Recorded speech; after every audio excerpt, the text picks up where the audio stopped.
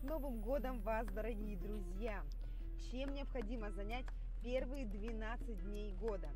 Каждый день это проекция месяца. В годе 12 месяцев, и первые 12 дней проецируют каждый месяц. То есть 1 января будет проецировать весь январь, 2 января будет проецировать весь февраль, 3 января март, 4 апрель и так далее. Вы поняли, как дальше. По этому принципу вы можете составлять план на весь год. Это будет очень эффективный план. И чтобы сделать его еще более эффективным, я вам дам свои астрологические рекомендации. Первый день – это дом личности. Первый месяц и первый день года необходимо заниматься своей личностью, то есть это я, проявленный в мир. А, я вам рекомендую в этот день уделить внимание и своему внутреннему, и внешнему миру. Заняться своим тонким телом и своим грубым. То есть вы можете принять ванну с солью, зажечь свечи и побыть в приятной э, такой атмосфере расслабления, уюта. Можно сходить на массаж, на маникюр, в общем, сделать что-то приятное для своей телесной оболочки. Для вашей внутренней начинки очень полезно будет почитать какое-то священное писание или духовную книгу, или э, книгу, которая будет развивать вас а, в психоэмоциональном смысле, ну или просто какую-то любимую вашу книгу. Конечно, изучать себя.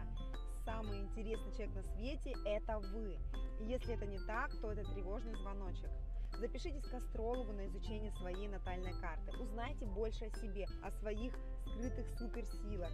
А, у меня есть мини-консультация, 15 минут она длится, где вы узнаете три своих суперсилы. Суперсила хочу, могу и надо.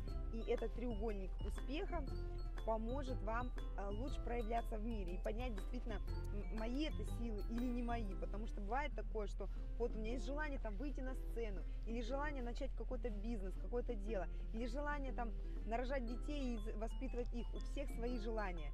И вот ты хочешь, да, это желание раскрыть, но тебе кто-то что-то посоветует рядом, типа, ну что-то это ерунда какая-то, вот надо заниматься чем-то другим, потому что это другой человек, у него другое мнение, он не специалист, он не знает вашей карты, он не знает ваших сильных сторон, он смотрит на мир через свою призму восприятия, и поэтому он не знает вас в достаточной степени, чтобы вам дать объективную рекомендацию. Но он может при этом быть вашим другом, вашим вообще родителем, вашим близким человеком, авторитетом для вас, тот, кому вы доверяете. И вы опираетесь на его мнение и а, отвергаете свою мечту, потому что вы начинаете сомневаться, вообще это мое, не мое, а, насколько это актуально, насколько это нужно, вообще э, я вижу, что мир это не принимает, и я такой не нужен, и поэтому э, не буду свою эту идею развивать дальше, я лучше займусь какими-то привычными вещами, какой-то там рутиной, к чему я уже приспособился. И здесь, конечно же, происходит такой крест на развитие, э, и это приводит, конечно же, к страданиям. И астрологи для этого и нужны, что они показывают ваши суперсилы. Не для того, чтобы говорить вам будущее, предсказывать за вас, создавать вам программы. Не для этого изначально созданы астрологи. Астрологи а, это поддержка вашего внутреннего зова. Вы вот слышали этот внутренний зов? зов. И вместо того, чтобы пойти к родственнику или к другу, вы сходите к астрологу, послушайте специалиста, который именно вашу карту посмотрит, откроет и скажет, да, да, это ваша сила. Вот обратите внимание сюда-сюда, тут могут быть слабые, тут могут быть сильные места. Э, здесь вы усилитесь, здесь вы э, как бы укрепитесь. Вот. Э, и вы уже будете, у вас на руках будет подтверждение, на руках условно, и у вас будет внутри убежденность, что да, действительно, я теперь понимаю, что это мое а, и по моей природе, и по моим внутренним ощущениям, и уже можете прийти и поделиться этой рекомендацией со своими близкими, да, и послушать, что они скажут. Вот, но слушать всегда надо свое сердце и компетентного человека. А близкие – это люди, которые смотрят на мир через призму своей индивидуальности. Так вот, друзья, а, если в первый день нового цикла, нового года, будь то это Новый год, будь то э, ваш просто персональный год, да, день рождения.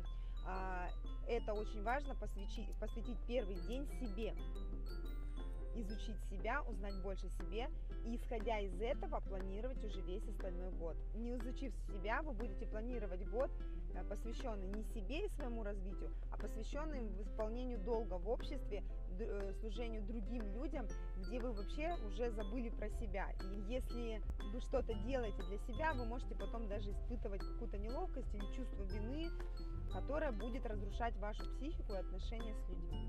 Также я хочу сделать вам подарок.